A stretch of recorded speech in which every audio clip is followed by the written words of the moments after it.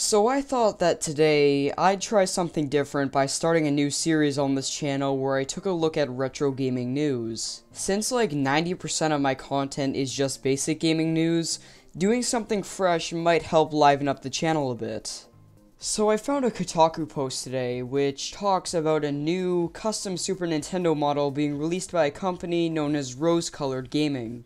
Basically, what Rose Colored has done here is they gutted out the parts from Super Nintendos and they arranged them in these small but nice looking translucent case.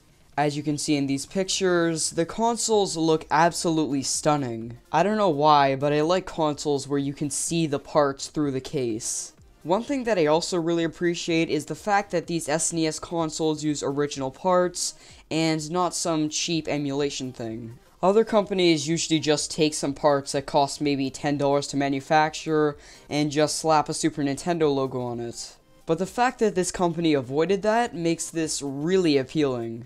Unfortunately, this means that these consoles will be hard to come by, as they use SNES parts that are handmade.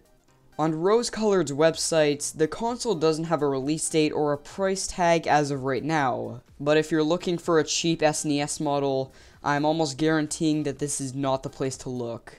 So what are my final thoughts on this system? Well, it's a very neat idea to have this see-through mini SNES sitting on your desk, but stock and pricing might be an issue.